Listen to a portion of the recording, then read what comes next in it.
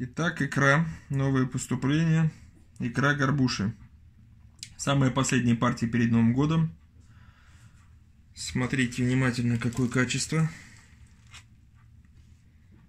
Вот такая вот чудесная икра. Не шкурит, не горчит. Вкусная, без лопанцев. Отличная по сухости. Без воды.